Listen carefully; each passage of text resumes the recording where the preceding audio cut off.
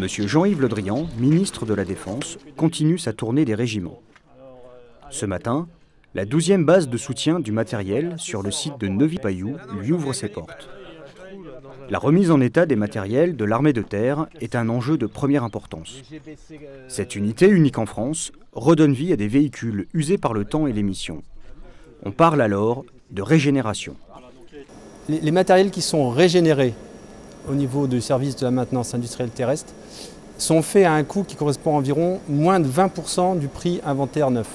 180 véhicules sont remis en état chaque année sur ce site. Du GBC au PVP, en passant par les VAB, tout ce qui traite des véhicules à roues n'a pas de secret pour ces 100 spécialistes de Neuvy-le-Paillou. L'atelier représente une surface équivalente à 8 terrains de foot. On y retrouve toutes les spécialités, de la mécanique à la carrosserie, en passant par la bourrellerie. Des reprises, quoi, en fait, c'est des... Ah, on refait la housse complète. Et ils refont- ils refont tout.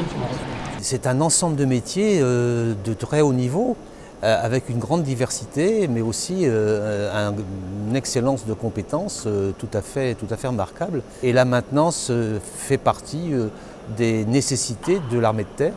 Et si elle n'existait pas, l'armée de terre n'aurait pas ces capacités d'intervention. Je suis venu redire cela ici. Maintenir notre capacité opérationnelle est essentiel. Mais nous devons penser à demain. Et ce 5 mai, au 12e BESMAT, M. Jean-Yves Le Drian a annoncé que le projet Scorpion n'est plus un projet. Et c'est la raison pour laquelle j'entends bien que le programme Scorpion soit lancé cette année.